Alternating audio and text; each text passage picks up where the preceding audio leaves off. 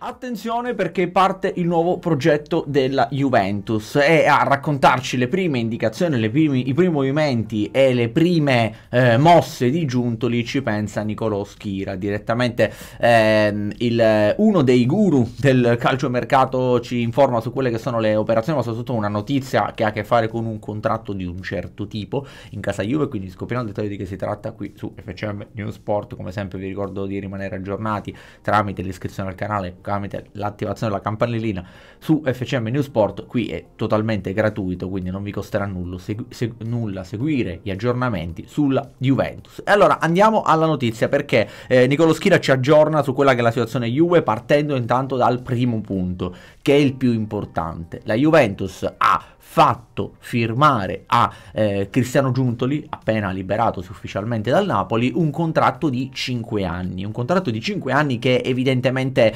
ehm, segna quella che è un po' la linea, eh, segna un nuovo percorso. Se tu sei insicuro sull'acquisto di una determinata figura, che sia un giocatore, che sia un allenatore, che sia un dirigente, non gli fai un contratto di 5 anni. Ecco, questo è già un attestato di stima importantissimo. Gli stanno facendo capire che c'è, avrà tra le mani un progetto serio serio che va oltre anche quella che è la figura di Massimiliano Allegri, perché ricordiamoci che Allegri ha un contratto con Lega fino al 2025, quindi tra due anni, mentre Giunto li rimarrà tre anni in più. Ma attenzione alla novità che dà Nicolo Schira da questo punto di vista è interessante, perché il quinquennale non sarà di un milione e mezzo, come si diceva prima, ma addirittura di due milioni e mezzo, quindi due milioni e mezzo a stagione per Giuntoli per lavorare alla Juventus. Credo fondamentalmente che il tutto sia avvenuto così, cioè inizialmente il contratto previsto era un quinquennale da 1,5. Le rinunce varie di Giuntoli al Napoli, quindi la rinuncia a alcune mensilità, rinuncia a alcuni bonus, premi per lo scudetto che ammontano a quasi 4 milioni, sono un po' pesati nella scelta di Giuntoli. Sicuramente Giuntoli e il suo procuratore avranno in qualche modo eh, parlato con la Juventus facendo capire, signori, noi qua rinunciamo a dei soldi importanti, quasi 4 milioni, per venire qui alla Juventus dobbiamo preten- e pretendiamo qualcosa in più.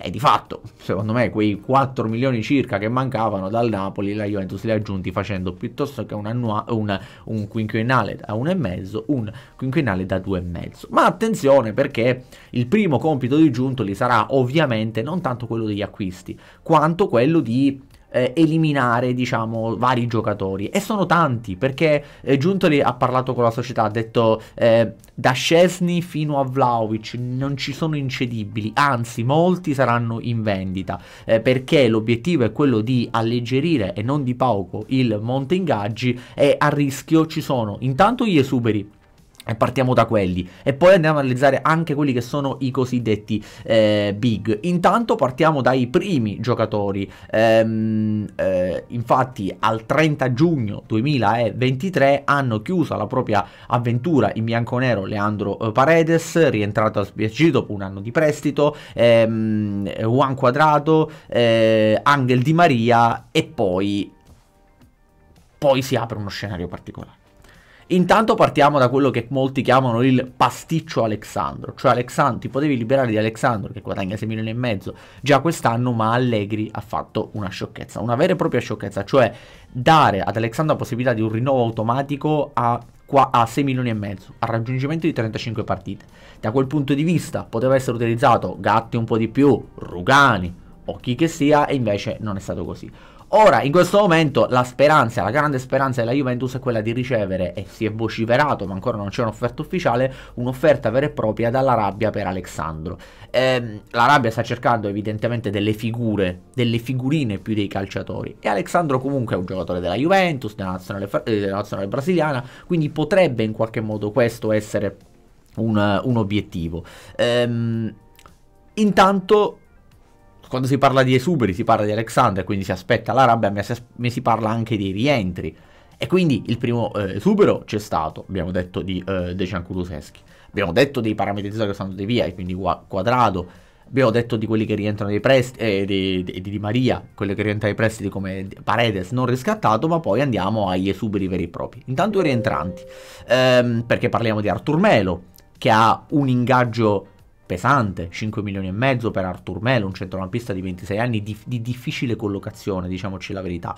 Eh, poi c'è il nome di Denis Zaccaria, che secondo me è molto più abbordabile come cessione perché guadagna 3 milioni e mezzo, è un centrocampista anche lui di 26 anni, quindi sono l'aspetto positivo è che ci sono delle età abbordabili, non sono dei trentenni, ecco questo è già un aspetto positivo. Aggiunto gli dovrà essere dato il compito di gestire questa situazione al meglio, un po' come fatto al Napoli in questi anni, ecco lo deve fare anche la Juventus.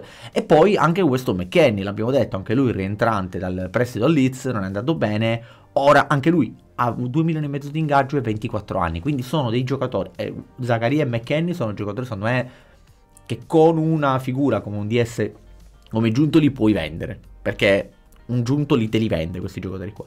Sarà un po' più complicato Artur Melo, su cui ci sono due possibilità, o rientro in Brasile a titolo definitivo o in prestito. Addirittura si parla anche di rescissione contrattuale, vedremo che linea e che politica avrà proprio ehm, il, il, nuovo DS Juventus Giunto. Abbiamo detto di Alexandro, si sperano in offerte all'Arabia, Speriamo che possa quest'ultima, anche senza chissà quali grandi introiti per la Juventus, ma comunque liberare la Juve da questo ingaggio mostruoso dai 6 milioni e mezzo. E poi ci sono altri due nomi che sono andati a finire eh, nella nuova agenda di Giuntoli come dei giocatori che potrebbero lasciare. Ehm, anzi, sono tre in realtà. Il primo è quello di Leonardo Bonucci. Guadagna 6 milioni e mezzo, guadagna troppo. A 36 anni ha fatto vedere che ultimamente non ce la fa più, né da un punto di vista fisico né da un punto di vista tecnico, sia le ultime partite nazionali che le ultime partite della Juventus hanno dimostrato questo limite, che in questo momento ha eh, ormai leggendario, mi verrebbe a dire, difensore della Juventus.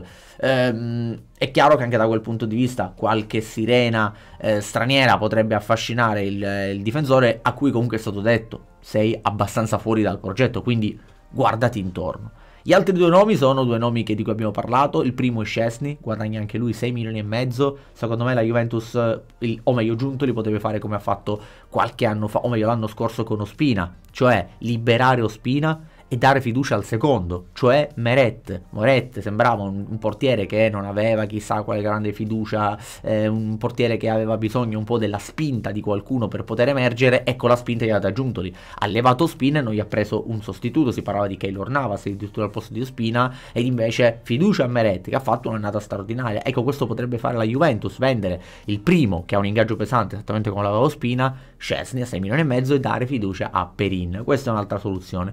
Occhio perché un altro, l'ultimo degli esuberi che Giuntoli eh, vuole vendere è Daniele Rugani. Anche lui un'età abbordabile, che stiamo parlando di un ragazzo che anche lui ha 26 anni, ha un ingaggio da 3 milioni e mezzo. Secondo me con Rugani bisognerebbe in qualche modo, cioè lui stesso dovrebbe accettare un po' un abbassamento dell'ingaggio per poter andare in una piazza. Mi viene in mente Firenze, mi viene in mente anche la stessa Lazio che gioca la Champions, eh, anche se c'è il duo Casale e Romagnoli che secondo me è di alto livello, ma ci sono delle piazze in Italia, mi viene in mente sempre la Fiorentina, che secondo me è perfetta come contesto per, per Daniele Rugani. Non troppe pressioni, però è, sarebbe un contesto perfetto. Certo dovrebbe dimezzarsi l'ingaggio. Però tutte queste figure sono nell'agenda, nella nuova agenda di Giuntoli che tinta di bianco-nero e che ha il compito di alleggerire eh, proprio il monte ingaggi e quindi a rischio ci sono non soltanto i famosi big come Vlaovic e Chiesa e compagnia ma soprattutto questi esuberi che sono stati individuati da Giuntoli come giocatori che devono assolutamente andare via. Ditemi la vostra soprattutto su quello che è la scelta di Juventus quinquennale da 2 milioni e mezzo a Giuntoli, parliamone qui sotto nei commenti.